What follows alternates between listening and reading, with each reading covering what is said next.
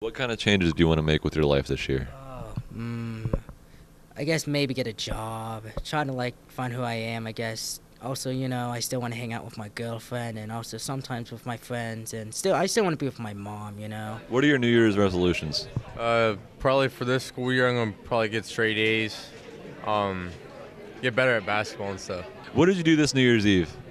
I watched a ball drop. Richard, what are you going to do to make this year better for you? Uh, make more money.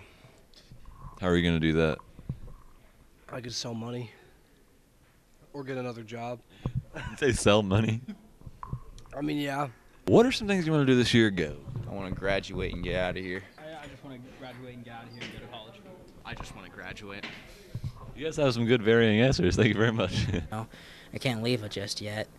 But there's a day I'm gonna get my own house, maybe get my small, get a small apartment, make money, you know, get an actual job or something like that.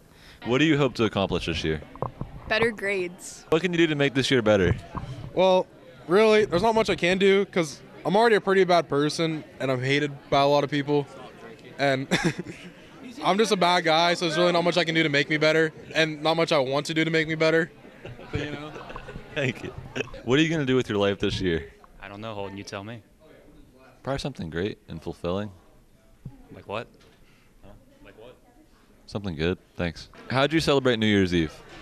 I celebrated with all my friends and family. How'd it go? It went really well.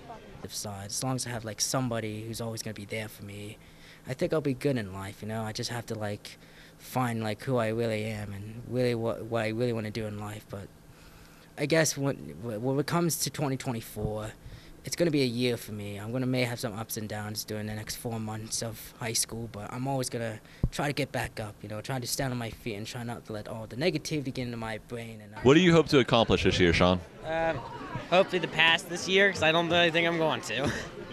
Well, I bet you will. I hope I do. Thank you, Sean. How did you celebrate New Year's Eve? Uh, I worked and then I went to a Nailers game. How was it? There was a lot of fights and I enjoyed every bit of it. What are your New Year's resolutions, Jason? Oh, hanging out with family and friends. Anything else cool? No, not really. Fair enough. Thank you. What are your New Year's resolutions? Well, I'm going to stay away from trees because I broke my pelvis and I don't ever want to do that again. That sounds like a good idea. Thank you. What are you going to do to make your year better? I'm going to play piano. Why? Because they threw me in piano class. What are you going to do to make this year better for you? I'm going to try to be the bigger person in a lot more situations. Uh, get my license. Um, read two books a month. Be nicer. Try not to go back with my ex. Procrastinate less. Procrastinate less. What's your New Year's resolution? Hanukkah. What do you hope to accomplish this year? Or no, what are you going to do this year? Get money and beat Wyatt in ping pong. Bang, what? Thanks.